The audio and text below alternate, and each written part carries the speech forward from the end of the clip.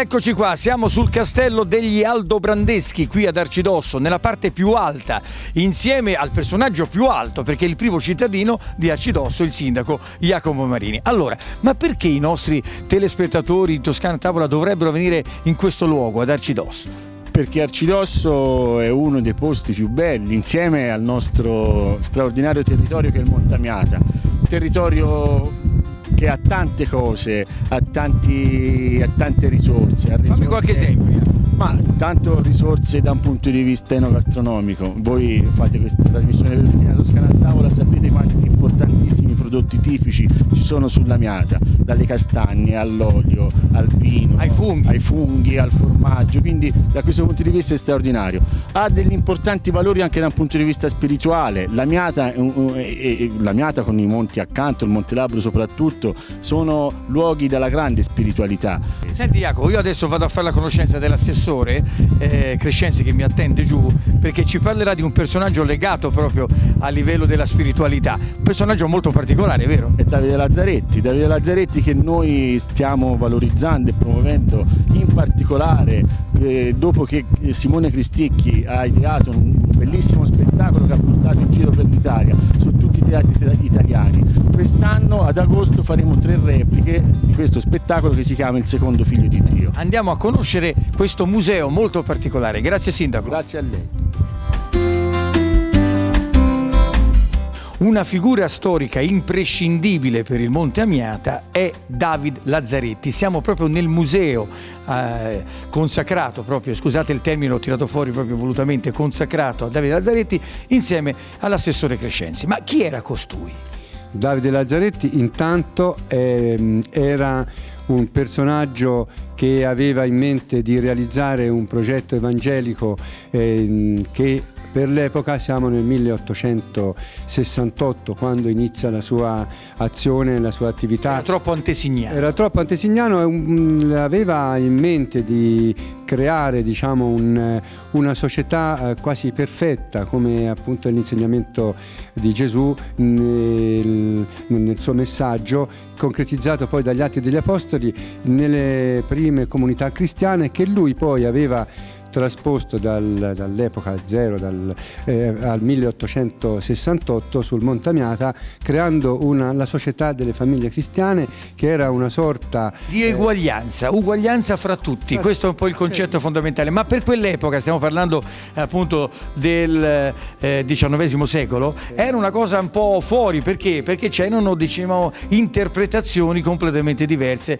dal potere di quell'epoca. E ahimè, ahimè il potere eh, lo fece uccidere. Certamente perché eh, venne in contrasto con i dogmi della Chiesa Cattolica da una parte e con eh, eh, i grossi proprietari terrieri, quindi con lo Stato unitario appena costituito dall'altra, tant'è vero eh, c'è proprio eh, una ipotesi di complotto anche se insomma... Cosa troviamo in questo museo? Ci faccia qualche esempio. In questo museo troviamo dei reperti che nella tragica processione del 18 agosto 1878 vennero indossati portati dai seguaci come le casacche, gli stendardi e poi altri reperti che appartenevano a David e i libri, i documenti e pannelli che ne raccontano la vicenda e le visioni. Quindi un personaggio fondamentale nella storia del Monte Amiata, Davide Lazzaretti e il Monte Labbro, fra l'altro è stato proprio scritto, sono state anche scritte molte pubblicazioni in proposito. Se volete sapere di più venite qui a Arcidosso, c'è un museo ad hoc, qui proprio all'interno del castello. Adesso invece facciamo la conoscenza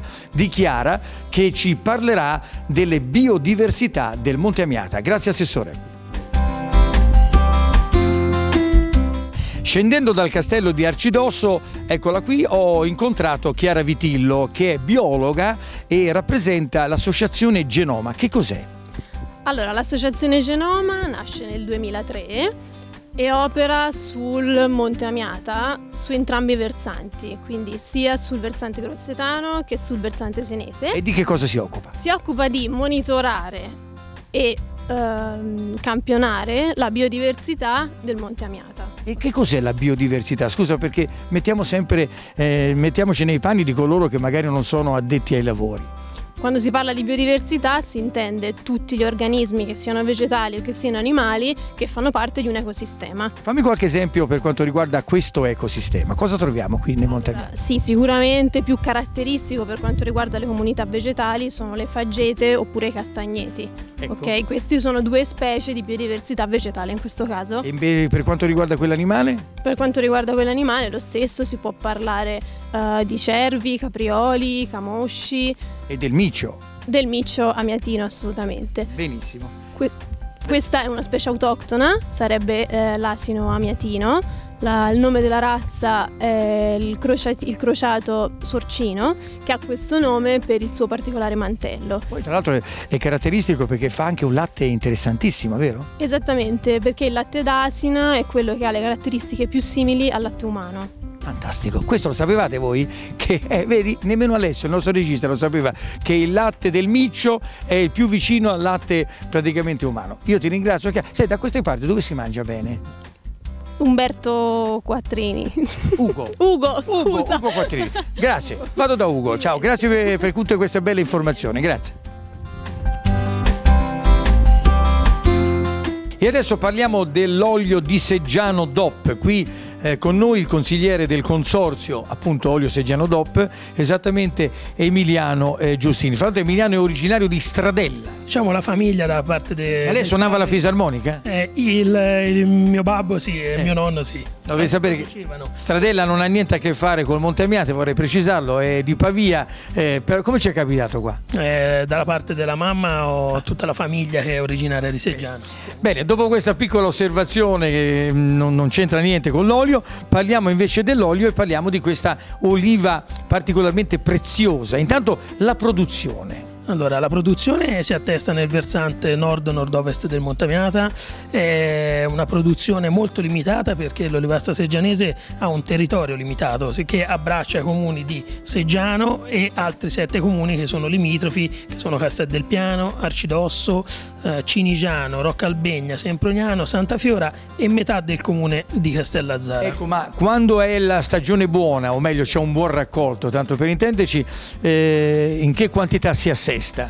Allora, il- la produzione dell'olivastra seggianese si attesta in eh, diverse centinaia forse migliaia di quintali. Il prodotto certificato ad oggi eh, nel 2016 sono state 5 le aziende certificate, non si superano i 20 quintali di, certificato, di olio certificato e sì che risulta un prodotto di estrema nicchia.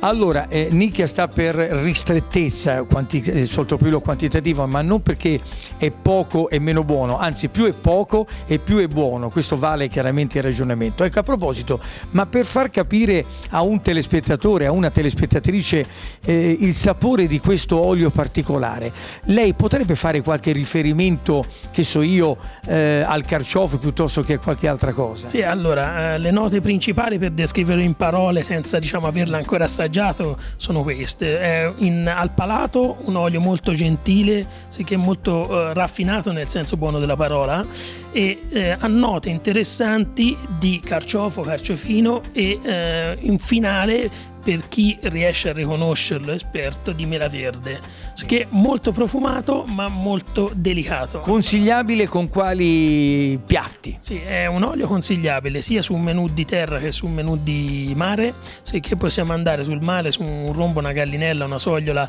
sia al vapore che al cartoccio, esaltarne veramente il prodotto e non coprirlo, questo è importante. Invece sul menù di terra, dove la Toscana ne è ricca, si può esaltare su vellutate, su una, una zuppa che diciamo di verdure, poi possiamo esaltarla con un, partendo da un semplice pinsimonio o tortelli, ad esempio. Grazie, è stato assolutamente esplicativo. Io ringrazio naturalmente il nostro bravissimo Emiliano Giustini e ricordatevi, se ancora non lo conoscete, bisogna assaggiare l'olio di Seggiano DOP. Grazie a tutti e il nostro percorso continua.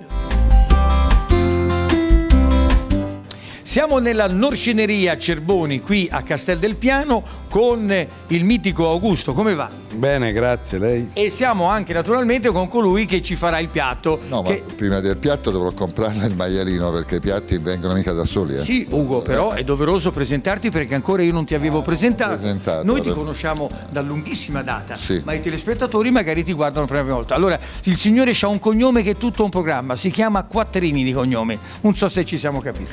Allora, detto questo, vi presento anche Luca. Luca sarà poi il nostro eh, Virgilio, tanto per intenderci, in questo girone dantesco. Nel senso sarà morto in quel senso.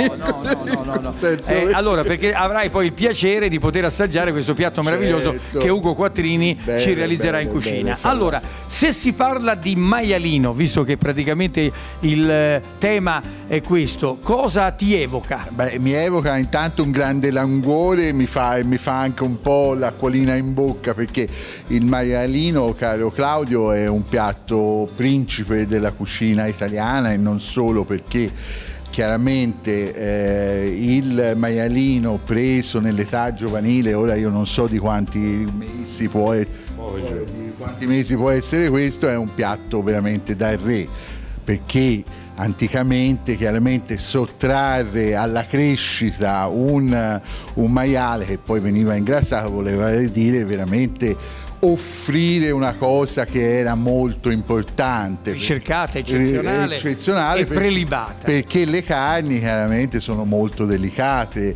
eh, rispetto poi al maiale adulto quindi chi lo donava chi lo offriva faceva veramente un gesto Allora, Ugo, eh, come lo cucinerai? In questo caso lo farò con un, con un vino, con il Montecucco, lo farò a tocchettini saltato in padella con diverse spezie e eh, allungato con questo vino Montecucco che è un vino del territorio. Ecco, che parte vuoi? da- così, Augusto? le- Lo prendo tutto perché è piccolino, mi sembra giusto. eh? Ma vuoi magari che lo tagli ecco, a pezzettini? Posso dividere nel mezzo? Diviso nel mezzo e poi l'altra cosa le faccio fa- io. Su. Da, Va bene. da quanto tempo, Augusto, hai questa azienda? Questa azienda io da una trentina d'anni, ma storicamente già i miei bisnonni facevano questo mestiere. Qui eh, eh, cioè, la norcineria viene, come si dice, rappresentata in toto dalla salsiccia in poi? Assolutamente, noi facciamo tutti i tagli di suino toscani, perciò salsicce, salami toscani, buristo, soppressata.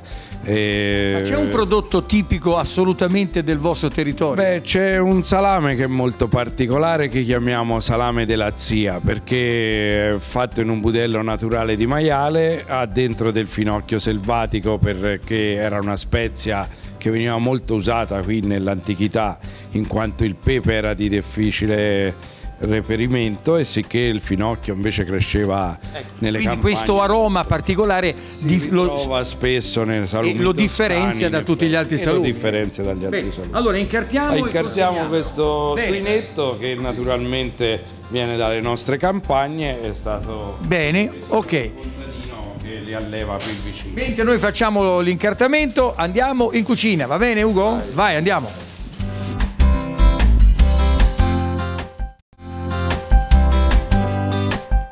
Voilà, eccoci qua all'interno della cucina Le Aiuole, questo bellissimo ristorante albergo che si trova eh, nel territorio di Arcidosso. Qui con noi, ricordiamolo, l'oste ci tiene in maniera particolare, l'oste che accompagna... Perché oste non cuoche? Mi permetto di, da- di dare eh, un- una interpretazione mia personale, perché Allora, tu vuoi accompagnare i tuoi clienti Non è eh, dare da, fare da mangiare, è l'accoglienza, l'ospitalità, perché se a un individuo non gli spieghi il piatto e non hai rapporti umani, uno si alimenta, mangia, invece deve riuscire a capire dov'è, che parte d'Italia, qual è il prodotto. A me piace molto raccontare, forse sono un novellatore, però è... Senti, come diceva Mike Bongiorno una volta, lei, caro Ugo, Mi vuole dica. tirare le orecchie a gran parte dei commensali che entrano in un ristorante con delle paturnie, questo no, questo no, vogliono mangiare le stesse cose che mangiano a casa. E allora a stai casa, a casa, no? Dico rompono, bene? Non posso dire non rompono, ma l'ho pensato. Va bene, però il concetto è questo, Il no? concetto- Allora, ingredienti, il titolo del piatto. Maialino di latte cotto al Montecucco. Montecucco è il vino. Ingredienti.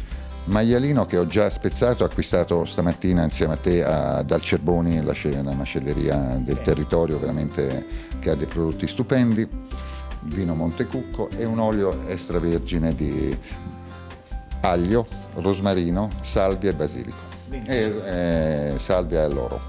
E poi sale, sale e pepe. Vai, con cosa si inizia? Io comincerei con fare un po' di olio. È già calda, vero la pentola? È calda, non è galoppante ma è calda. Allora, questo olio che utilizzi, ricordiamo che il mitico olio eh, extravergine è un valore aggiunto, guarda, purtroppo è anche se è un olio che si utilizza, sarebbe consigliabile utilizzarlo più per condimento, no? Che... questo anche da svezzamento, è l'olio anche più da... vicino al latte materno come caratteristiche organolettiche. Di conseguenza, ecco, aglio. Mettiamo... Aglio senza la camicia. Eh, la camicia l'ho già tolta. tolta. Un po' di rosmarino. Vai. Due foglie di alloro. Un po' la salvia deve averla. Eh, c'era c'era, eccola qua. Eccola, l'ho trovata. L'avevo vista. L'avevo pensavi che mica, vista, mica si frigge con l'acqua noi, eh? Anche se qui c'è l'acqua cotta, è eh, bene precisarlo. Eh. No, no, sì, non che frigge, ho fatto riferimento alla parola acqua, no, perché no. qui bisogna sbagliare nulla, se no poi mi stanca. Allora, Però l'acqua cotta è, è, sinonimo di maremma, no? Allora ti aspetti un attimo che sia eh, imbiondito l'aglio, metti il tuo maialino sale quanto basta. Ecco, la carne di maialino è particolarmente preziosa, eccellente perché? Perché il maialino una volta era un lusso che si potevano permettere pochi, perché era l'alimento base per far sì che le famiglie passassero l'inverno. Quando avevi il maiale in casa e la madia piena di farina di, di castagne sapevi eh, che avevi risolto i problemi. Quindi ammazzare un maialino di latte era uno, quasi uno spreco. Era un, cioè, un, lusso, un lusso. Più che un lusso. Allora, portiamo a cottura questo, copriamo con questo vino Montecucco. Qui c'è questa bella evaporazione. Non va, non va girato quando metti il vino, perché altrimenti ah. deve evaporare. Copri ora ci vorrebbe almeno una, un 40 minuti, se avete tempo. Sì, no, fa. ce l'abbiamo, no il tempo, noi facciamo delle magie. Eh. ah, eh. Allora, mentre lo ricordo ai nostri simpatici amici eh, che possono contattare www.vetrina.toscana.it per entrare a far parte della grande famiglia di Vetrina Toscana, che poi vi permette anche, come si dice, di poter ospitare anche il nostro programma televisivo, potremo venire da voi, però dovete essere convenzionati in un certo qual modo eh, e quindi aderire a questa bella campagna che ha ha voluto fortissimamente e vuole fortissimamente la Regione Toscana, che è Vetrina Toscana, cosa che il nostro Ugo ormai ha sposato da tempo. Oltre che la Regione Toscana ringrazio l'Ascome che mi ha dato la possibilità di poter eh, organizzare questo eh, ciclo di puntate perché ha preso in considerazione uno dei locali del territorio meritevoli, mi auguro di esserlo. Io lo dico senza farsi pudori, se si vede il Montamiata eh, non si può non venire da Ugo Quattrini, assolutamente. Allora, sta cuocendo. Bene. Bene, ora facciamo noi... la magia? Facciamo la magia. Allora, uno, due, tre. Attenzione, facciamo la magia perché ovviamente il tempo è denaro e al contempo non ce l'abbiamo. Adesso arriva. Arrivo. Sì, sì, sì, sì, Mentre lui va a recuperare ovviamente il prodotto che ha già subito la cottura eh, spettante di circa 40 minuti, ebbene ricordo www.vetrina.toscana.it, un invito che faccio sia alle botteghe, all'ascolto, ai titolari dei ristoranti, se ancora non fossero iscritti possano farlo eh, senza spendere assolutamente nemmeno un euro, bene precisarlo. Allora, sono passati 40 minuti e... il maialino è arrivato a questo Beh, punto. Come lo completiamo? Ma io in questo caso ci metterei della verza di cavolo cotta in agrodolce con cipolla. Ce l'abbiamo? Se aspetti rifaccio un'altra magia. Bene, eh, te, allora te rimettiti qui intanto. Bene, io sono qui. Abbadalo, eh. Lo abbado, lo abbado, perfetto. Intanto voglio ricordare che tra qualche istante avremo modo e maniera di poter passare all'assaggio e quindi al eh, giudizio da parte del nostro Luca eh, Maniglia che appunto eh, sarà lui eh, a poter giudicare evidentemente questo particolare piatto. Ok. Allora, qualche istante adesso arriverà, apparirà così magicamente il nostro Ugo. Eccolo qua. La prossima puntata, se hai occasione di tornare, ti dico come si fa la verza. No, dillo, dillo ora. Eh, va presa una verza fatta sottilissima, fare un soffrittino di aglio, sempre con olio extravergine, che è la cosa fondamentale lo metti in cottura, ci metti, aspetti che arrivi al punto di... Poi aggiungi un po' di zucchero di canna e una puntina di aceto balsamico. E il gioco è fatto. Eh sì, teoricamente sì, in pratica ci vuole il suo tempo e... Allora, la scheda la dobbiamo far rivedere, la scheda, vero? Con tutti gli ingredienti. Allora, ribadiamo titolo del piatto e ingredienti, vai. Maialino di latte cotto al Montecucco. Ingredienti, maialino di latte, asce- eh, olio extravergine di seggiano, aglio, aglio basi- eh, salvia, rosmarino e alloro. Un pochino di sale quanto basta. Poi c'è chi ci vuole mettere una puntina di pepe o, o, peperoncino. In questo caso non ce l'ho messa perché siete delicati di stomaco, come l'ha già detto. È delicato perché non, io, non, io, non l'ho mai, io l'ho già mangiato, ma ah. rimanga fra noi. Allora riprendi prendi il, l'accompagnamento e andiamo all'assaggio. Questa Va, volta ti, an, ti anticipo. No. Luca, eccoci qua, guarda, godi, stupisci, perché effettivamente questa cosa è meravigliosa. Eh? Ricordiamo che questo è il maialino che il nostro Ugo ha completato con questa verza interessantissima di accompagnamento, ma soprattutto è un maialino che hai rosolato con un vino pre- prestigioso. Il Montecucco, certo, è il vino del territorio, ci tengo molto a promuoverlo, è un vino che ha una caratteristica meravigliosa, quella di abbinarsi bene su molti piatti, quindi proviamo a assaggiarlo intanto. Tra l'altro qui rappresentato da Silvia Coppetti che appunto è la coordinatrice del Consorzio Tutela Montecucco. Prima di arrivare a lei però voglio sentire il tuo parere. Eh, guarda Claudio, lo senti anche da solo e peccato non lo sentono i nostri amici a casa perché ha dei profumi, degli effluvi intanto davvero di questa ottima carne di maialino che ricordo appunto essere un piatto principe di tante regioni italiane, compresa la Toscana, questa qualità e poi davvero questi profumi del, del Montecucco, per cui io intanto gli do una bella odorata come si come si suole dire, davvero straordinario e poi me lo vado a assaggiare, magari chiedo a Ugo perché eh, quasi un piatto tedesco, cioè la verza? No, ehm, si facevano due tipi di cavolo, no? si faceva il cavolo a palla, che è questo, e il cavolfiore, ma il cavolfiore si faceva più con fagioli, un, ma perché una volta erano primi e secondi, erano piatti unici, oggi ci si gioca, ma una volta era un alimento, quando la carne non era tutti i giorni, questo era un piatto che si abbinava benissimo a un pasto storia. Sì, eh? sì, ma è anche un richiamo che dobbiamo ricordare anche oggi alle qualità salutari delle verdure, dei legumi, per cui ecco, non è necessario mangiare la carne tutti i giorni, quando la mangiamo però mangiamo di grande qualità come questa e però mangiamo anche molte verdure Beh, che fanno allora, tu bene. vai all'assaggio e sentiamo Silvia che vino ci suggerisce. Allora, ovviamente Montecucco, ehm, ho preso, per oggi ho preso il Montecucco Sangiovese Riserva, uno dei nostri, anzi il nostro vino più importante, il vino principe delle nostre produzioni. Questo è un 2013? Questo è un 2013, sì, è un'annata abbastanza buona per il Montecucco e per il Sangiovese in generale. E, ehm, credo che... Ehm, questo, questo, piatto sia perfetto per questo vino perché eh, il nostro Sangiovese ha tutte le caratteristiche per essere oh, versato un po'. So, per questo vino, ma in genere per il Montecucco, eh, avete una produzione più per il nazionale o anche a livello interna- internazionale? Il che vuol dire esportate molto? Esportiamo molto, sì. Nazioni privilegiate? Le nazioni in cui esportiamo di più sono gli Stati Uniti, eh, nei, nelle quali insomma, facciamo anche abbastanza promozione, e anche la Germania e tutti i paesi del nord Europa. Perfetto. Allora, sentiamo il parere finale del nostro Luca, prego. Allora, una carne straordinaria, veramente morbidissima, che è stata ben gestita nell'esecuzione, proprio con questo bagno come eh, appunto una persona accaldata trova refrigerio con questo vino, veramente uno sposalizio che ha funzionato benissimo. Bravo Ugo. Senti Ugo, io vorrei finire con un piccolo aneddoto, allora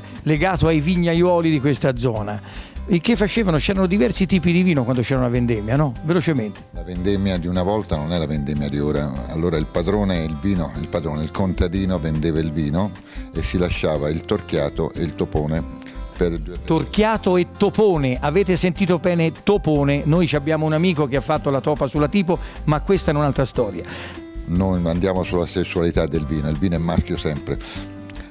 Il problema è che vendendo il prodotto di qualità si lasciava questo torchiato per il periodo della eh, trebbiatura e quando eh, la gente era assetata veniva allungato con acqua, era più un dissetante che un vino.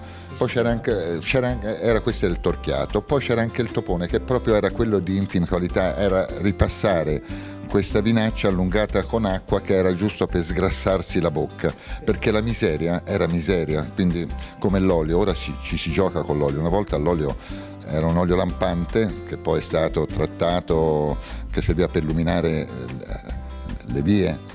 Oggi eh, purtroppo la grande distribuzione gioca ancora sull'olio lampante, produttori come, il Mont- eh, come l'extravergine di Seggiano giocano sulla qualità. Allora, abbiamo parlato di tanti prodotti di questo territorio affascinante, meraviglioso, ma ahimè poco conosciuto. Da chi? Dagli stessi toscani. Allora l'invito che io vi faccio formale, ufficiale, Pratesi, Massesi Cararini, Pistoiesi Aretini Fiorentini, Pisani Livornesi e magari anche Senesi, anche se siete vicino, ma perché non venite a fare un bel giro al Monte Amiata? Grazie a tutti e cin cin finale da Monte Amiata, da Arcidosso e dalle Iuole è tutto. A domani, stessa ora.